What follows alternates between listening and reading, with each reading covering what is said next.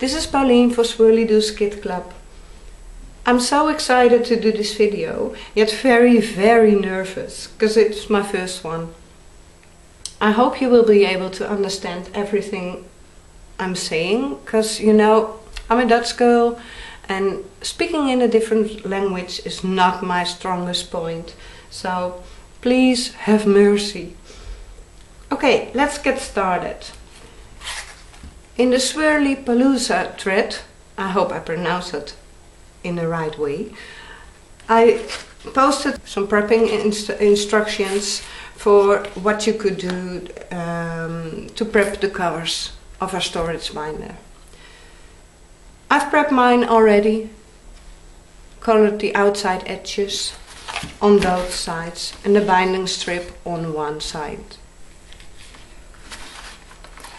We start with the, our binding. This will be my outside for the binding. So I flip it over, get some glue out, put some glue on the binding. I like to spread it out with my finger. Once you get a good coverage, I place it in the middle of my, my paper.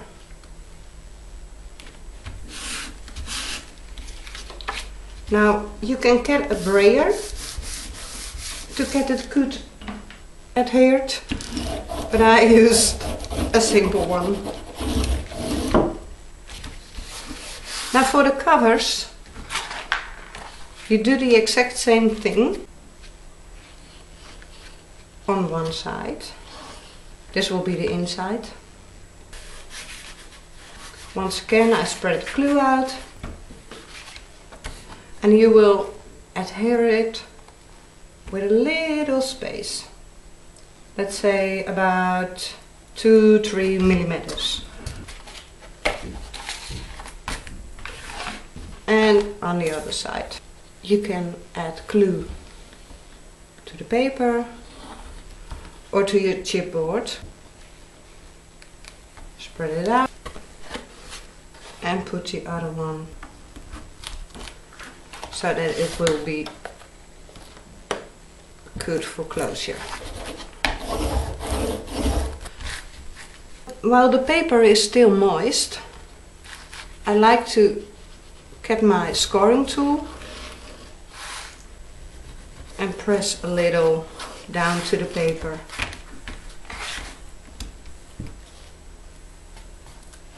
Fold it over and open it up. Again with the other side. Then I flip it over and I will now adhere my uh, pattern paper. For this part I like to take double-sided adhesive. That is enough. Alright. Now the back side. I want to start with this part and once again I just take double-sided adhesive.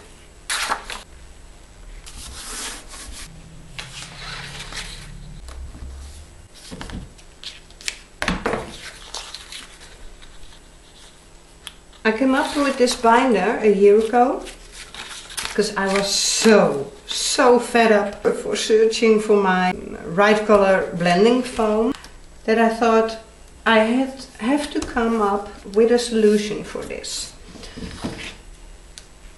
I want them organized. So that's when I uh, thought of this binder. Because I think everyone who loves distressings uh, just needs one. Voila! And my covers are done. Then afterwards you can ink it up and you have a great cover. So I won't do that for now because it will take too much time. We just start on the inside. I also posted in the, in the thread to get uh, something like this. We call it page protectors and I just cut off the edges and then on one cut it off in half So you will have one and a, and a half. And I choose my papers for that one too. Sorry for reaching in front of you. All around I leave some white space. What I've done, and I have prepped one ahead, this will be adhered to your inside cover. I stitch to the paper and underneath the paper. So when this is uh, glued down to the to the inside uh, back cover, you have one that flip flipped open. I also added a strip of cardstock which is sewed to the page protector too. So I will now let you see why and how I did this. This is the right one and this the left. So you have to put the strip of double-sided adhesive to the back of the left side. I like to do this this way because of the double-sided adhesive. Make sure you line it up correctly and just flip the flap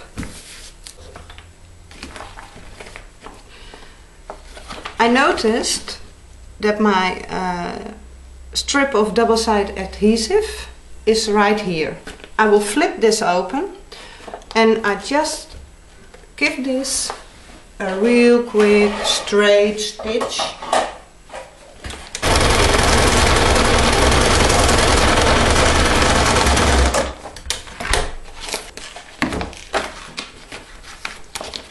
as you can see voila one stitch.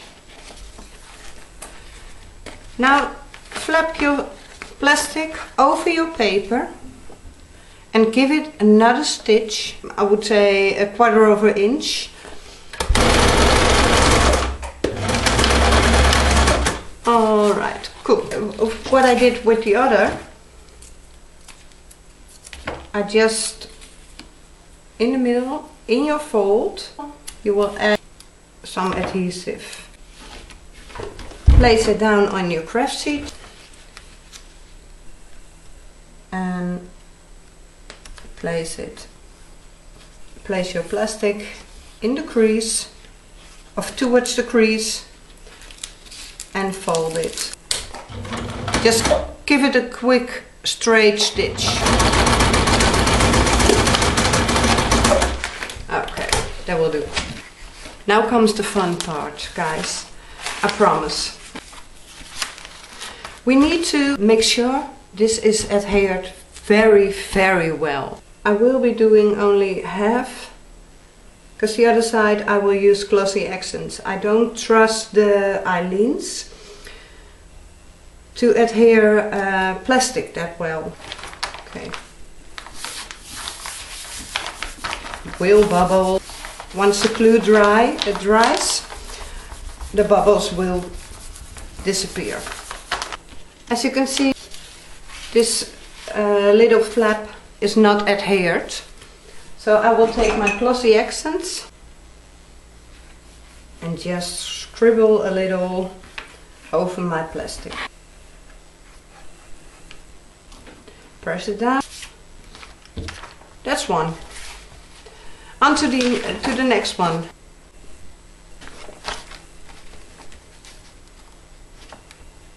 Make sure you hit the sides real well.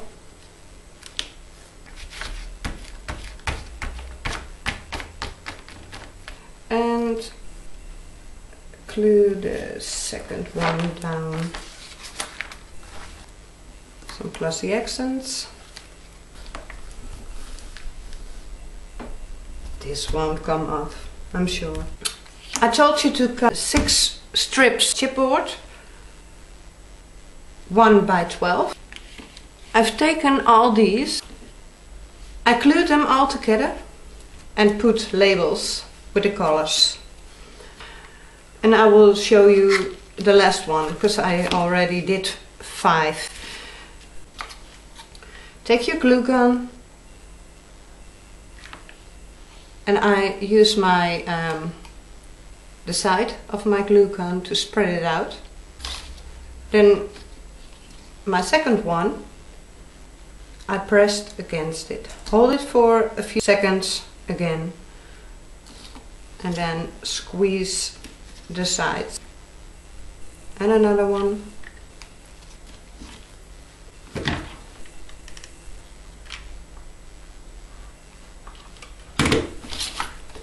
They come in a row of 8 times 6 makes 48. Take your strip, add some glue, leave a tiny little space at the top. Eyeball it and there you go. Done.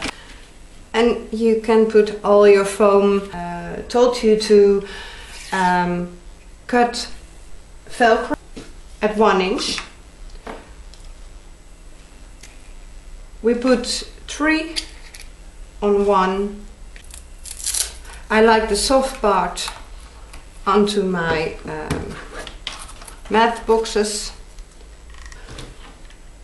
and one in the middle.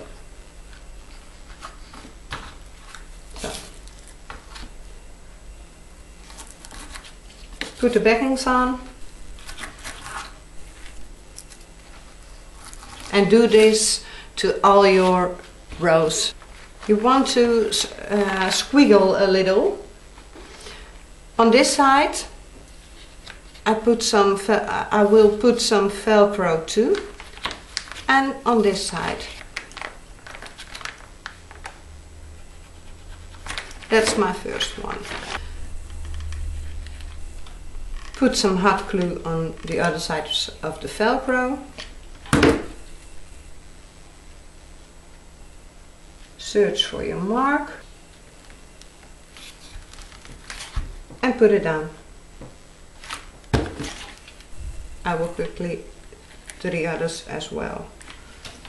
I don't glue side by side, just on the little pieces of Velcro. There you have it. I think I will cut, cut three inches off. That's it.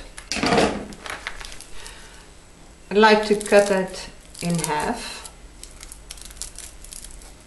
lengthwise, and in half again. Again, I use the um, soft spot on the inside of my cardstock.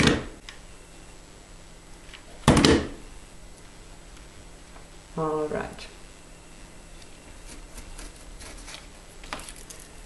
Put their backings on. I think I do the middle. The middle. Flip it over. And just press to your match, match box, the side to it. Let it sit for a minute, let the glue cool down. There you have it. Just need a little more, bit more glue. Your top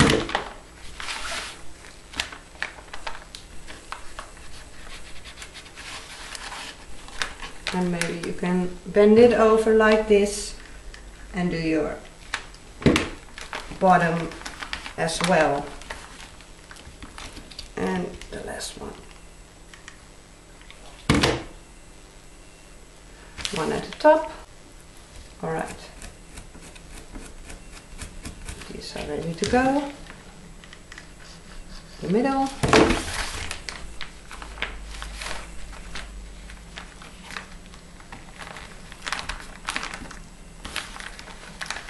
lift it up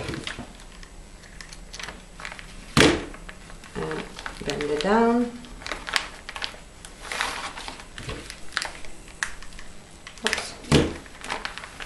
Okay. quickly putting my foams in. Alright, good to go.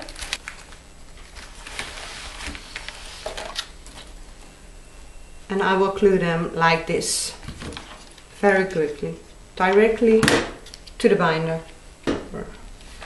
And number five. Hop. Get my extra foam. Other way around. And look, it will close perfectly. There you have your storage binder. What I use for uh, the cheap foams, stamp foam pad, right. And I um, use my Sharpie to cut strips of the foam. I mean, on, on, on the blending tool, there's Velcro. What I do is take the soft Velcro, glue gun, and then voila, You're ready to go. If you want to, you can use um, ribbon. I will just get the old binder to show you what I mean. Add ribbon along the binding, not some string on it. Add a ring. You can hang your blending tool on it. Also what I wanted to show you why I um, used Velcro. Because if you want to use just one row, but you can take it off and have your row with colors in front of you of which you want to use. I hope you enjoyed every little tip I told you. Have a lovely day. Bye.